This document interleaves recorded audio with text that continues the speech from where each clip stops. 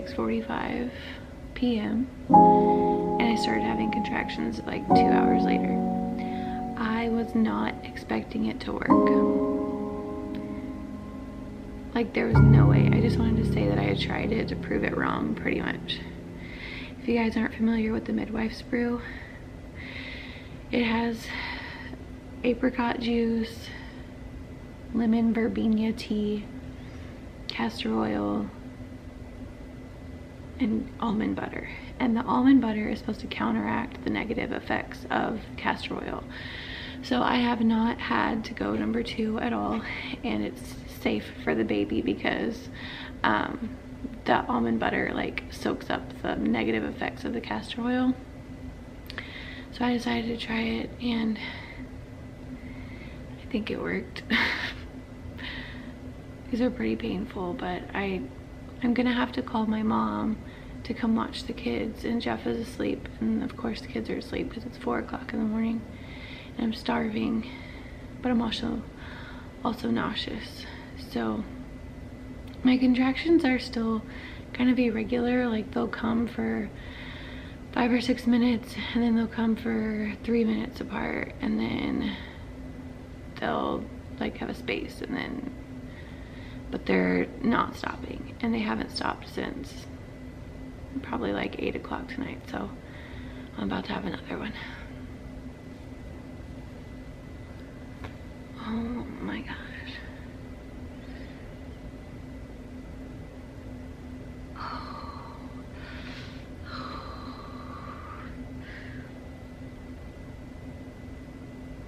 Hmm. I think I should probably call my mom.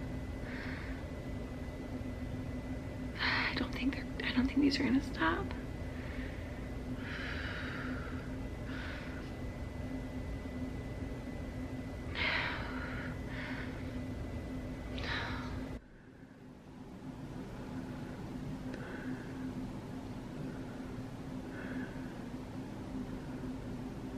All right, so I woke up Jeff like 15 minutes ago and I texted my mom and told her I think she needs to come because my app was like, you should go to the hospital.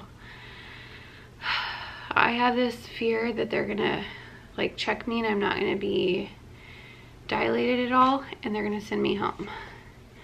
But the contractions are like for real. They're coming about every, I haven't timed them in a while, but it's like three to four minutes and they hurt. So I think I might have waited a little bit too long.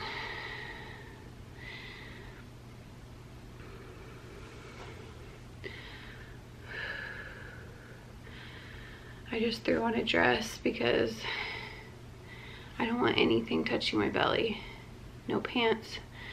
I have underwear on, but I wish I didn't have an underwear or underwear or a bra on. And I washed my hair earlier when I was having some little contractions, but so I'm glad that I did that, but I obviously do not have time for this. So, sorry guys. This is what you get.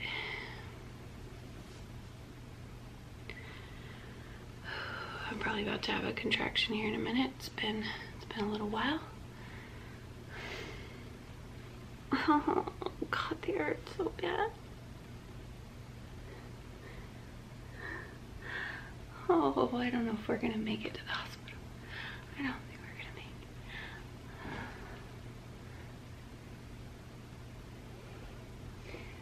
Oh man.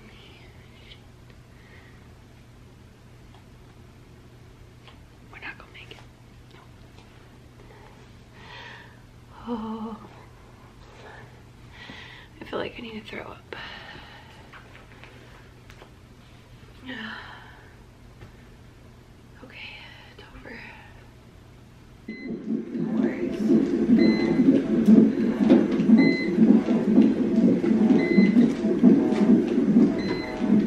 What was her blood pressure before? Do you remember? Last time I saw was 120. Okay. Just gonna go- Where's her right? We're over here, right here. First one 140, last one 126, number 69. You said 140? Very, very first one. Okay.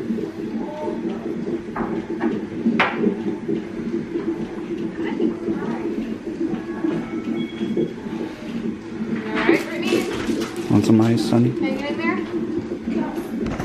Make sure that it's not down here. I'm so sorry to bust your bubble, but no videoing, guys. Okay.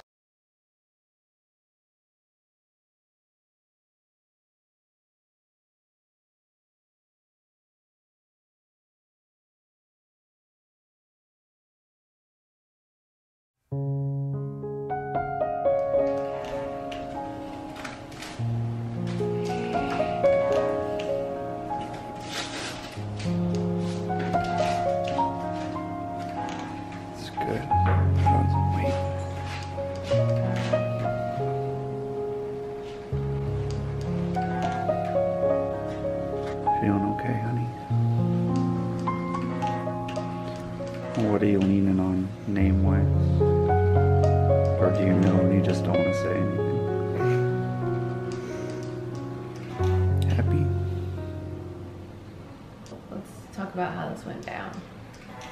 Okay. We got here at what time? 5:40. I think. Yeah. I don't think she believed me. She was like, the lady at the front, she was so calm. She was just like, Did your water break? Are you having contractions? And I'm like, I feel like the baby's gonna come out. Yeah, I don't That's think the they, first I don't thing you think they believe me. I said, I feel like the baby's gonna come out. She was like, She feels like the baby's gonna come out.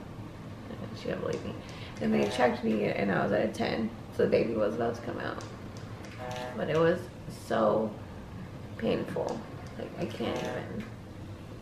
If for everyone who has not had any medication for your delivery, you're a freaking rock star. He literally shot out. Like I had my eyes closed and I pushed and I felt something shoot out, but I didn't know if it was him or not. Like I was just The doctor literally caught him. yeah, and then I opened my eyes and saw that he was there, and I was like, oh my gosh. So the top part of his head is bruised because he came out so fast, but they said it will go away, you know, in a few days. So When you say shot out, like she literally was no, like yes. hands by her side and literally like caught She him know he was from hitting the ground. He was seven pounds, one ounce, so it's our smallest baby. 19 and a half inches long oh, he's so cute. with a perfectly round head. He's got dark hair on his head and he's got little dark hairs on his shoulders, which was super weird to see. Because I don't remember any of the other boys having dark hair in their shoulders. So yeah, fourth baby does not mess around. That was intense, and we weren't allowed to film the delivery. I really wanted to have the camera up here by my face so that you could see what was going on from here up, and then when he came out, but that wasn't allowed. And the rest of it, you guys would not have wanted to see. It was pretty bad, right, honey? Yeah, it was- Anybody wanted to see. I was really concerned for you because it was rough. So, anyways, we're um, trying to figure out what his name is. We've had, you know, 38 weeks to try to figure it out, but like people don't actually, they won't actually believe. No. But have you ever seen where like they throw the fish in Seattle at the fish market? That's how she caught this kid. It was crazy. I'm thankful that she caught him because I wasn't. No one was expecting that. I don't. She was And literally like a foot and a half away The from look on her face when I opened my eyes was like, oh my gosh, and me too because I was like, what just shot out of there? She was she was didn't think it standing was back away from you. She was like not with her hands here. She was back like this and caught the baby like it was like a pitch play in football. It was crazy. Well, I'm glad she had good reflexes because Yeah, she must have been a running back would cuz have hit the floor. yeah, that was nuts. She's got quick reflexes. Now he's just eating. He hasn't squeaked. He's barely cried. This guy's nut is above. Do you think he looks like Cash or Coot? Mm, No, I think he looks like his dad, and none of the others look like his dad. That's what I think. This is the first baby that I looked at, and I said, "Hey, I think he might look like me." So that's good. But I was thinking they looked like me when I looked at it. But you're wrong. So, honey, did you decide on his name? No? Okay. I'm letting you have 100% of this. Good look. It's gonna change in like a day. He doesn't really open this eye. I know. That's what I'm saying. That's that was the eye is like bigger. It was all bruised and bulgy. supposed to be small. Poor baby. That I see me. Yep. Yep, I got one. I got one. One that looks like me. I got one. So tell them why we had to rush in the middle of the night to have this baby. Okay, so what I was saying earlier when I was having contractions is that I took the midwife's brew. And what is a midwife's brew? So I had a friend of mine who does my hair tell me that it worked for her, and so I decided to try it because I am full term. Like, it's okay to have a baby at this point. I did not take it thinking it was actually gonna work. Like, I had the most, like, I just wanted to say I tried it and it didn't work and prove it wrong because that's just how I am. And it ended up working. I started having contractions like two hours later. And I think if your body's not ready, it's not gonna work, but that's why I figured it would work for me because on Tuesday my cervix was zero. And I was having contractions last night, but I was like, what if I get there and they're like, mm, contractions aren't doing anything, we're gonna go home. And then I get here and I'm at a 10. So it's safe to say that midwife's brew works.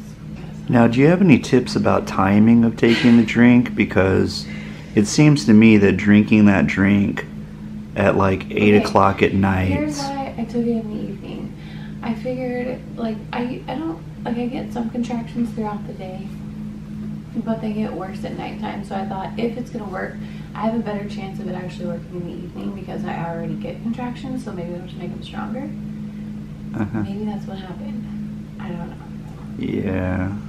But I had, like, no laxative effect from the castor oil. Like, that's what people freak out about. I had no problems with that because the almond butter counteracts the problem. That's why they put almond butter in the recipe so that that doesn't happen. So I don't know what to say other than it worked for me. So if you're 40 weeks and dying to have a baby, try the midwife's brew.